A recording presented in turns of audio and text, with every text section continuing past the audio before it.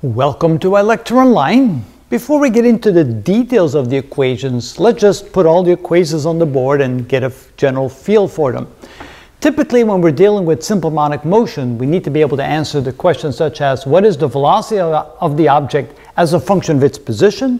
What is the acceleration of the object as a function of its position? Or what is the position, the velocity, and the acceleration as a function of time? We should also know the angular frequency of oscillation. We should also know the oscillation frequency and the period of a single oscillation. And here's the equations go, that go along with that. So the velocity as a function of position is equal to plus or minus the square root of k over m times a squared minus x squared. Remember that k is a spring constant, m is the mass, a is the amplitude of the of the oscillation, the maximum distance away from the equilibrium point, and x is its position. The acceleration as a function of position can be found by taking minus kx over m. And then the position, velocity, and acceleration as a function of time, well, starting with the position equation as a function of time, it is equal to a times the sine of omega t. Now, depending upon the initial conditions, this equation right here could be a different equation. It could be this equation right there where we have a phase angle, or it could be a times the cosine of omega t, or negative a times the sine of omega t, or negative a times the cosine of omega t. All of those equations represent the position as a function of time for an object that is oscillating according to simple harmonic motion.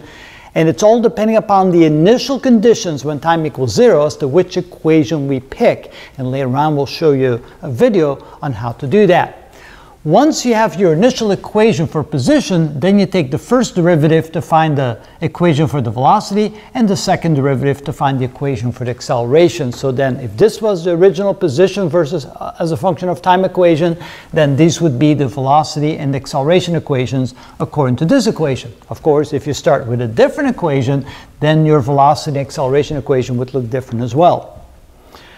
The angular frequency of oscillation is simply equal to the square root of the spring constant divided by the mass of the object. The relationship between these two, this is the angular frequency, this is the, the oscillation frequency, and we know that the angular frequency is 2 pi times the oscillation frequency, so therefore f equals omega divided by 2 pi. And since we know that omega is equal to the square root of k over m, we can write the frequency as that. And then the period of the single oscillation is simply the inverse of the frequency, and therefore if we take the inverse of this equation, we get 2 pi times the square root of m over k. So these are the equations typically that we deal with when we have simple harmonic motion with no damping.